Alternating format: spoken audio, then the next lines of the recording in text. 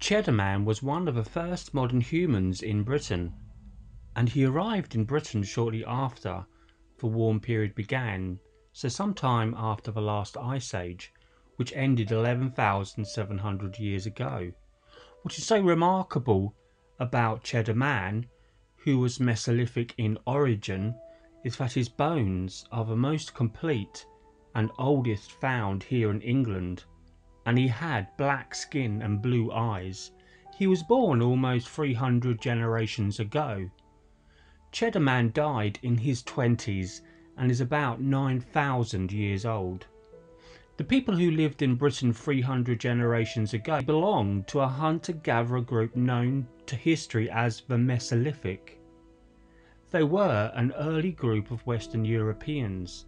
DNA analysis on this complete skeleton shown that he had dark to black skin and blue eyes, which was typical of that Western European population.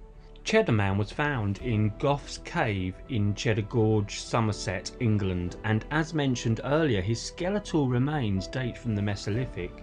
His remains were excavated in 1903 and have been kept by London's Natural History Museum. They are today on display in their Human Evolution Gallery, which is a must see for anyone visiting the museum. In 2018, a DNA analysis of Cheddar Man was conducted by, by a team of scientists at the Natural History Museum in London. The DNA was extracted from the petrous part of the temporal bone, which is a pyramid shape and wedged at the base of the skull. On analysis of this remarkable skeleton, he was found to have blue or perhaps green eyes, was lactose intolerant, had dark curly hair and dark brown to black skin. His DNA makes up about 10% on average of the ancestry of Britons without a recent family history of immigration. Many people have shown that they share DNA with Cheddar Man, and his DNA is still available for comparison via GEDmatch, and Cheddarman's GEDmatch Genesis kit number is NW64144429.